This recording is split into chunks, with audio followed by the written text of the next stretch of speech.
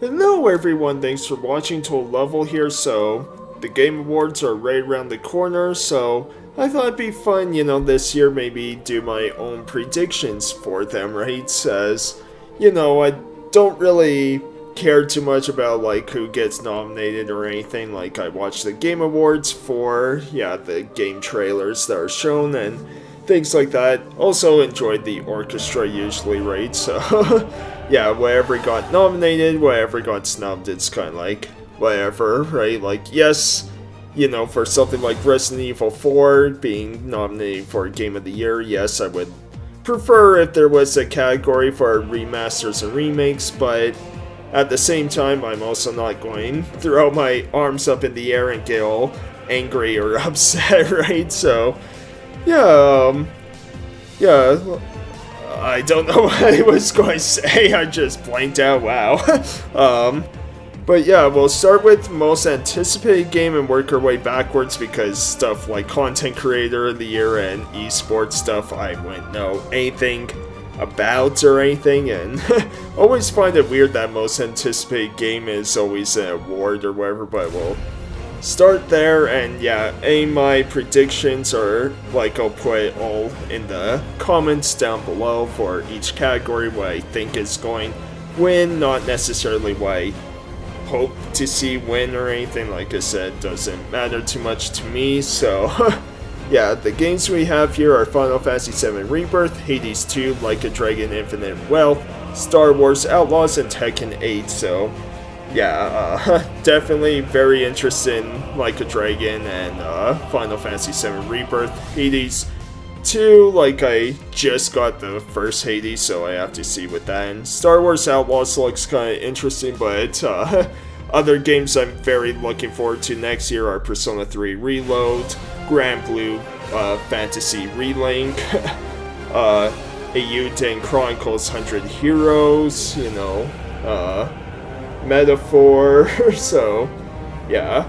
I would say a lot of level 5 stuff, but a lot of that got delayed into 2025, unfortunately. So, yeah, but definitely my pick, which I think this will win anyways, but my personal pick, anyways, is Final Fantasy VII Rebirth. I am so excited for this. I cannot wait. You know, I'm wondering how, like, part two of this is going to end. I'm very intrigued and yeah, just really cool. So yeah, we'll hit previous. So best adaptation. Okay, so yeah, um, for this, I'm going to guess The Last of Us will win. I like the show and all that. I, you know, I didn't like it as much as people praised it, but it was still a good adaptation. But I think because of its popularity and everything, uh, I do think that will win. Plus, was pretty cool to have that show filmed where I am in Calgary, like a good portion of it, right? So that was really cool.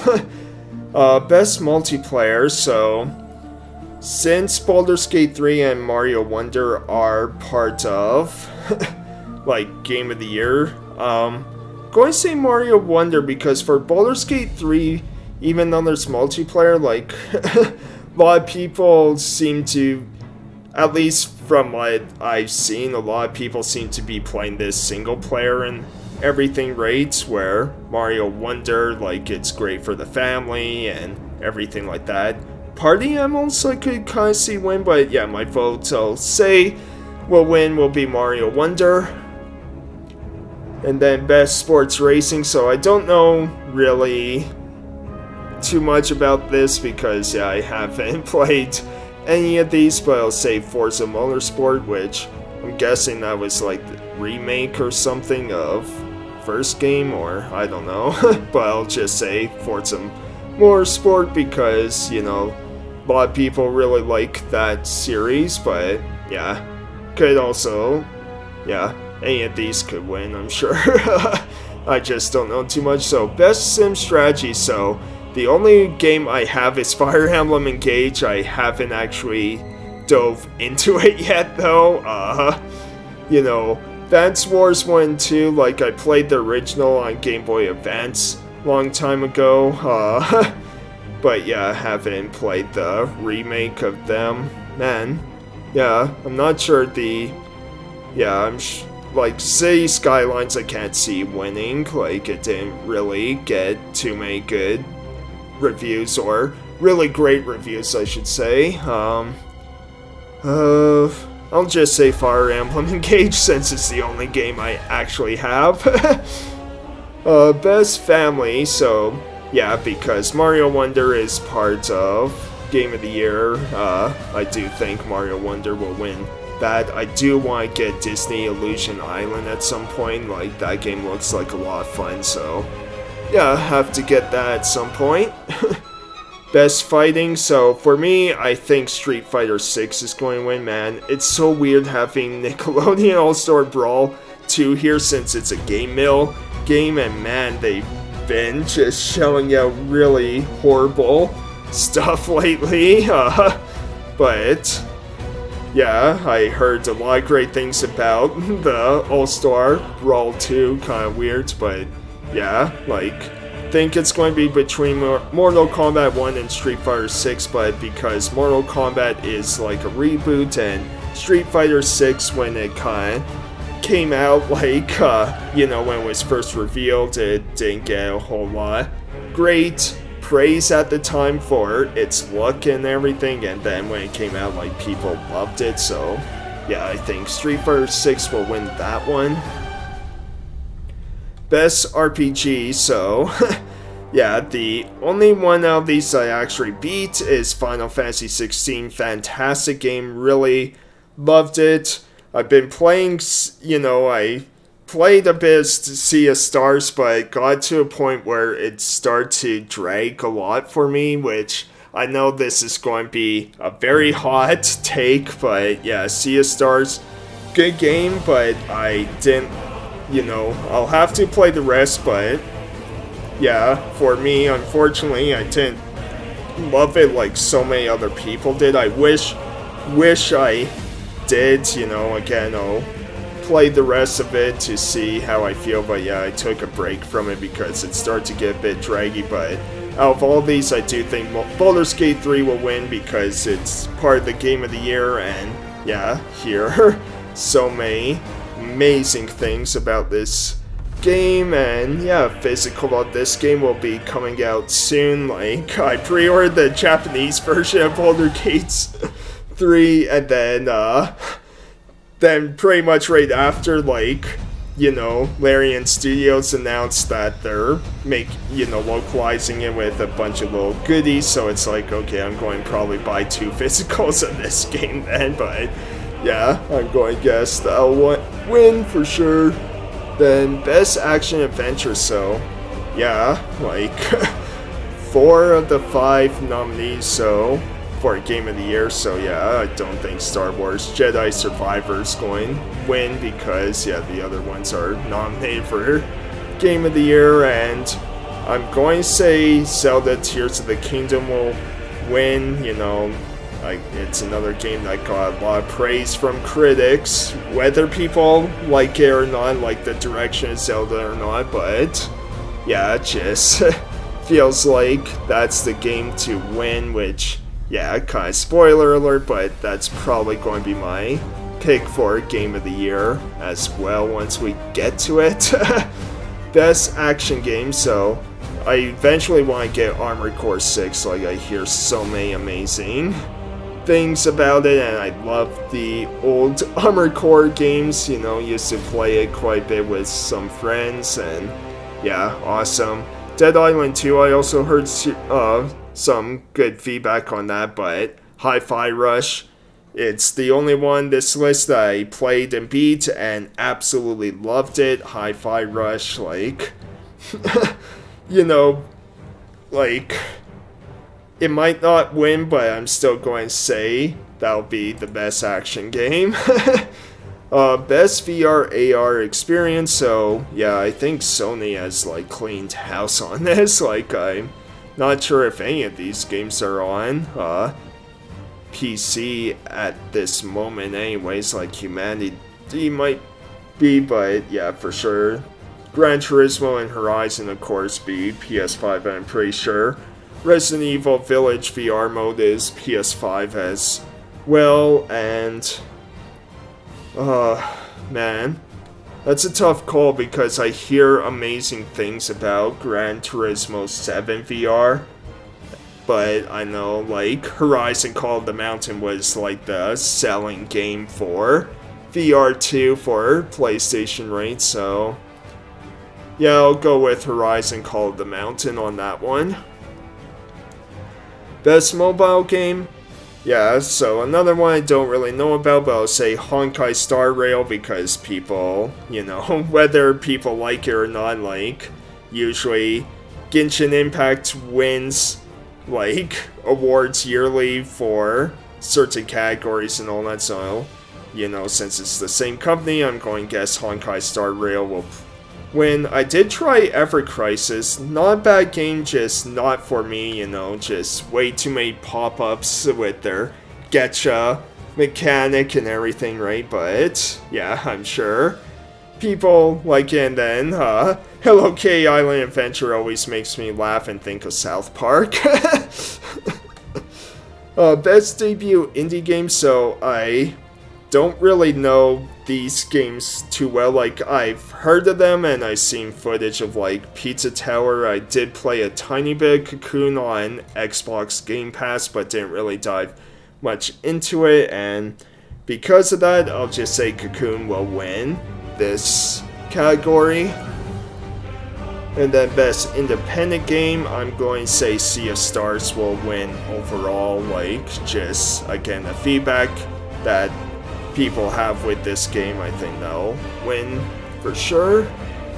I shouldn't say for sure. I keep saying for sure. It's just a habit of mine to say that, but uh, yeah, so best community support. So yeah, we have Baldur's Gate 3, Cyberpunk 2077, Destiny 2, Final Fantasy 14, and No Man's Sky. So even though Baldur's Gate 3 is part of Game of the Year, I'm actually going to say Cyberpunk 2077 because that's a game that, again, rough starts, but really kind of turn things around and people, you know, it's a game that I have on my playlist to start very soon because, yeah, I want to dive into it and the DLC and everything, right? Because, yeah, I'm very excited to, you know, I know there's still bugs in it, but very excited to kind of actually dive into a more playable experience, right? And it just reminds me of what Final Fantasy XIV and No Man's Sky went through, so yeah, I think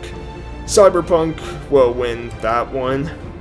Then Best Ongoing Genshin Impact. I think it wins like every single time whenever it's nominated for awards like this, so yeah, I'll just say Genshin Impact. uh, games for Impact, so yeah, again, I don't know too much about this. I did play this one, uh, Shia or Chia. Uh, I think it's Shia, but uh, yeah, because it was on PS5, like through PlayStation Plus, Extra, or Premium, or whatever, so yeah, that's the only one I played. Not a bad game, you know, I haven't played all the way through. I played a little bit of it, you know, has kind of want those or Zelda Breath of the Wild elements in it, but yeah, since I don't know too much, I'll just say, yeah, this one, uh, Shia. uh, innovation and accessibility, so again, I wouldn't really know for or myself, right? Like, it's not something that affects me personally, so uh, yeah, I'll just say Hi-Fi Rush because also that, you know, it's the only one I played, but also that game had, you know, different types of modes and, you know, where you didn't have to keep up with the rhythm if you didn't want to. You could turn that kind of off so that you could just mash the button to your content, right? and then best performance, so...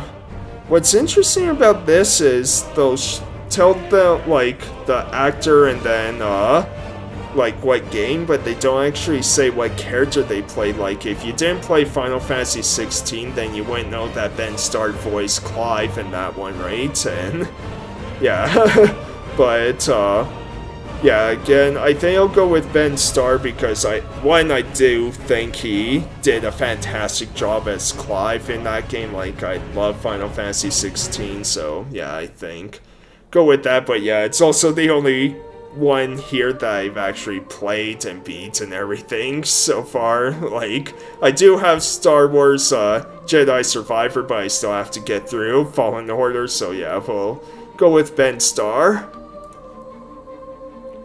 Then Best Audio Design. So, usually for these, like, horror games would win because that's the big thing, but again, only played and beat Hi-Fi Rush out of these games plus yeah, the music was fantastic in that game, but yeah, I'm...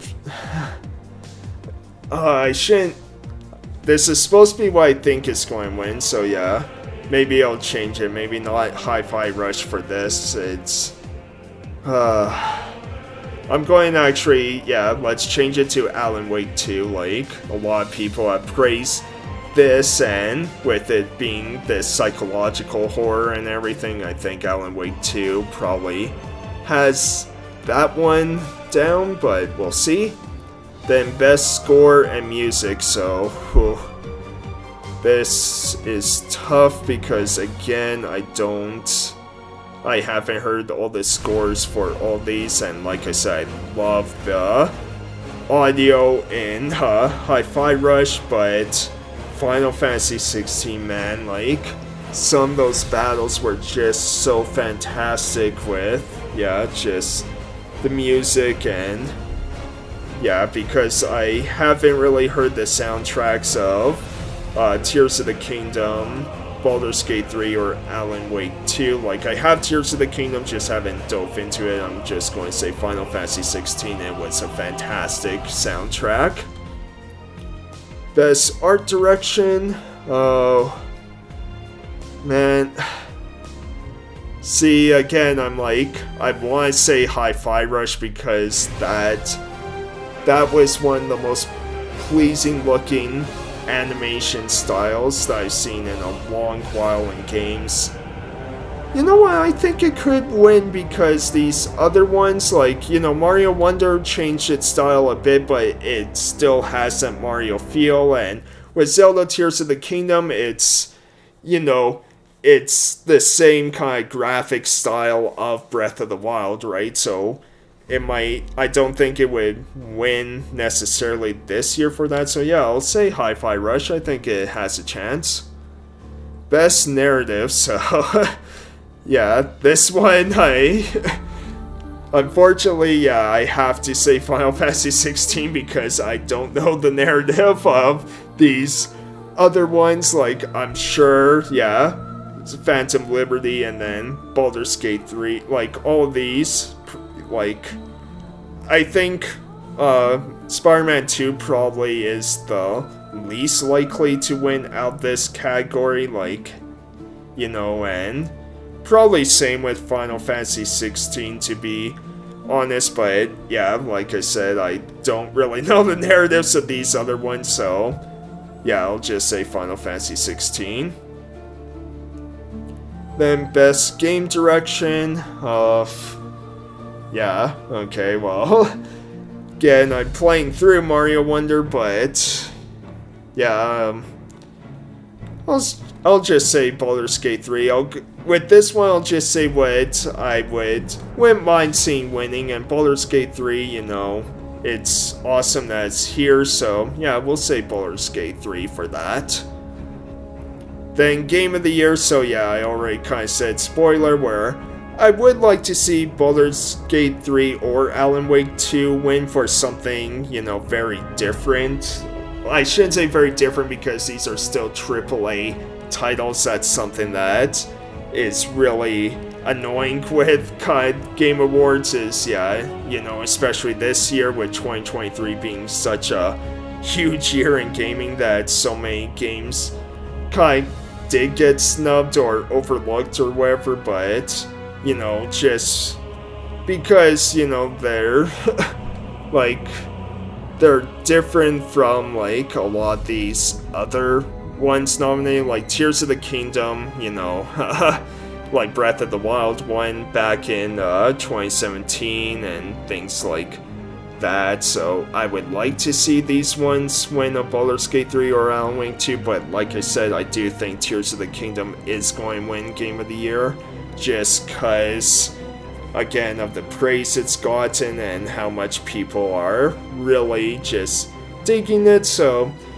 yeah, Tears of the Kingdom, Game of the Year is my prediction, but again, I'm okay with whatever wins whichever award, but again, this was fun to do. As you can see, I don't really cast anything. I'm not going bother doing that or creating an account or anything for this. I'll just kind of leave it and then leave my predictions in the comments you know, but yeah, let me know what you think. What are your predictions for the Game Awards? And yeah, I don't think I'm going to stream this. I'll probably, you know, I'll probably just watch the Game Awards on my own, especially because I'm like, I wouldn't be anywhere close to being a reactor because my reactions are genuine, you know, they're not going to be over the top of like, whoa, what the, like, you know, I'm,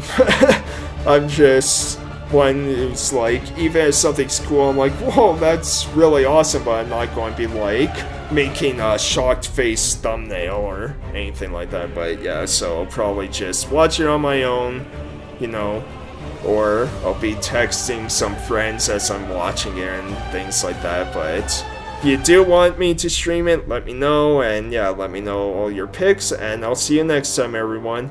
Right, have a great rest of your day. Bye! Hey everyone, hope you enjoyed the video. If you did, be sure to leave a like and comment, and subscribe if you want to see more, or if you just want to see any of my skits and then nothing else and leave the video, that's fine too. Thanks everyone, take care.